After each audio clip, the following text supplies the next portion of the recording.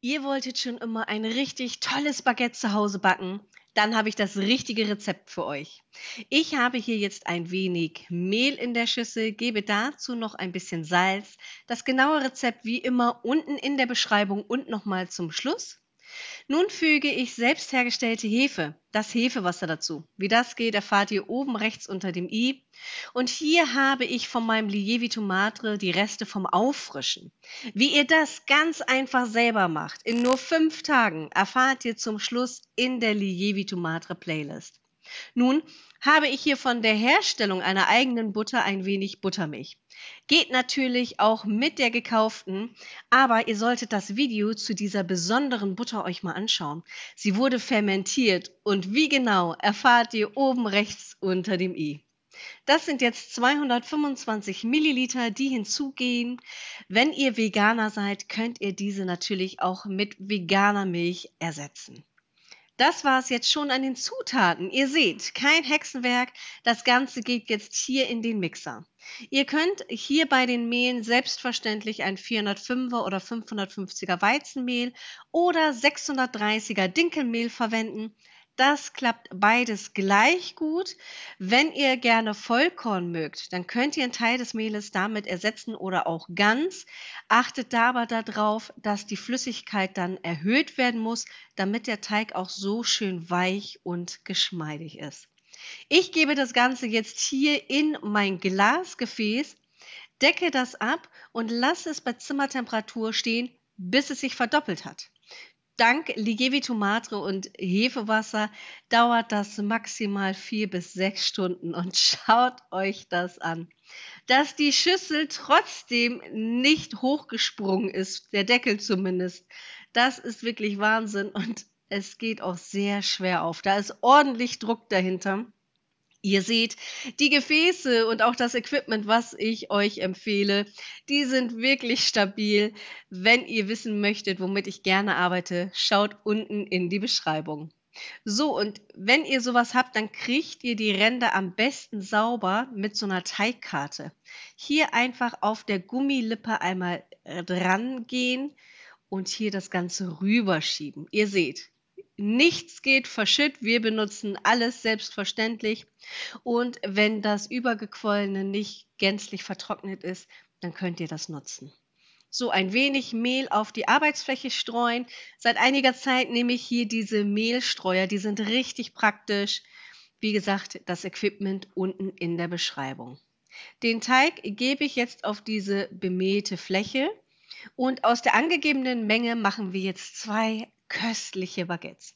Ihr könntet auch drei kleinere machen. Ich finde zwei große perfekt, wie aus dem Supermarkt, nur in lecker und natürlich länger haltbar. So, und nun werden wir so eine Art Laminieren machen. Das bedeutet, wir drücken den Teig jetzt ein bisschen flach und ziehen ihn auseinander. Nicht richtig so wie bei einem Sauerteigbrot, aber so ein bisschen und dadurch können wir nochmal ein schöneres Ergebnis später bei unseren Baguettes haben. Die Seiten klappe ich ein bisschen ein. Wenn das klebt, noch ein bisschen Mehl nehmen oder eben mit der Teigkarte da drunter schieben. Die Teigkarte ist wirklich super. So, und dann fest zusammenrollen und andrücken. Ich zeige euch das gleich nochmal eben aus der Vogelperspektive. Dann könnt ihr das nochmal besser sehen. Die meisten von euch sind ja gefühlt schon alle Profis und können das. Aber für all diejenigen, die hier neu sind, zeige ich euch das gleich nochmal anders, damit es dann einfacher für euch ist.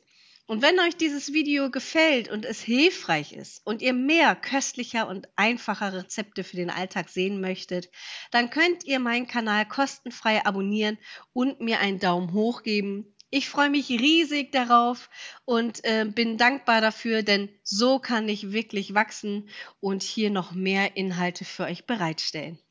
So, die Enden ein bisschen zuknipsen, das platzt euch sonst beim Backen wieder auf zeige ich euch aber auch gleich nochmal bei dem zweiten Stück, nochmal ein ganz klein bisschen in Mehl wenden. Nicht zu viel. Das soll kein Mehlbaguette werden, sondern das soll wirklich nur so ein bisschen. Ah, da war so ein trockenes Stück, das kommt weg. So. Und nun könnt ihr das entweder auf ein mit Backfolie ausgelegtes Backblech geben Ich nutze ganz gerne so ein richtiges Baguetteblech dafür, weil ich finde, dass die Baguettes hier nochmal eine schönere Form erhalten. Zeige ich euch aber gleich nochmal. Hier jetzt das zweite Stück. Auch das ein wenig auseinanderdrücken. Nehmt dabei nicht zu viel Mehl auf die Unterseite, denn ansonsten verschließt sich das gleich nicht so schön.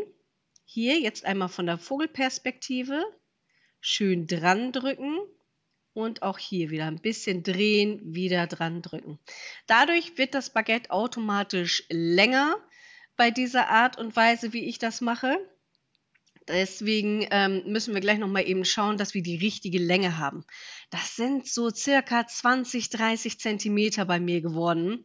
Ich bin da ein bisschen nicht so genau wie mein Mann, der hat da so ein besseres Augenmaß, aber ich persönlich würde sagen, ähm, das war jetzt so ein, eine halbe Arbeitsfläche ungefähr. So, schreibt mir aber auch gerne nochmal in die Kommentare, wie es euch gelungen ist und vor allem, wie es euch geschmeckt hat. Ich bin ja tatsächlich ganz begeistert von den selbstgemachten Baguettes. Liebe das für ein schnelles Essen zu Hause. Man kann das variieren, quasi so als kleine Brote nehmen oder auch schön zum Dippen, zu einem tollen Eintopf. Einfach köstlich. So, und auch hier ein bisschen wieder rollen. Den Schluss mache ich dann auf meinem Backblech dann nach unten. Lasse die Baguettes nochmal circa 30 bis 60 Minuten bei Zimmertemperatur ruhen. Dann bemehle ich ein bisschen das Backblech, nicht zu viel, wirklich nur so ein bisschen, streue dann oben aufs Baguette noch was drauf und erst kurz bevor es in den Backofen geht, schneide ich die Baguettes einmal ein. Danach gehen sie in den vorgeheizten Backofen. Dank dem Mini-Backofen, den ich nutze, muss ich maximal eine Minute nur vorheizen. So, und hier gucken, da sind noch so Seitenteile für so einen Spieß, den man da reinpacken kann. Einmal kurz hochheben, Wasser drüber sprühen, dann schon einfach hier zumachen und ungefähr 25 bis 30 Minuten später habt ihr dieses köstliche Ergebnis. Guckt euch das mal an. Die sind toll knusprig außen und ich zeige euch selbstverständlich auch, wie die von innen aussehen. Hier, das typische Muster durch dieses Baguetteblech. So einmal schön anschneiden. Und ihr habt jetzt gerade vielleicht diese weiße Creme gesehen. Das ist die selbst hergestellte fermentierte Butter. Das ist etwas ganz Besonderes. Mein Mann sagt, das hat so eine Struktur wie Creme fraiche. Ich persönlich finde, es ist eher wie so eine Joghurtbutter. Probiert das unbedingt mit diesem Baguette aus. Traumhaft lecker und schaut mal, wie fluffig das Ganze geworden ist. So, ich schneide jetzt hier nochmal ein Stück raus. Kurz fokussieren, damit ihr es auch besser seht und nicht so verschwommen. Schön mit den Fingern aufpassen. So, guckt mal. Das ist eine schöne, feine Purung, genau wie wir das haben wollen. Und so könnt ihr eure Reste vom Sauerteig oder vor allem jetzt hier auch den Lievi Tomate perfekt aufbrauchen und schaut mal, mit dieser köstlichen Butter schmeckt das Baguette noch doppelt so gut. Hier sind weitere Videos für euch und ich wünsche euch viel Spaß beim Ansehen. Ich bin bald wieder zurück. Eure Emma.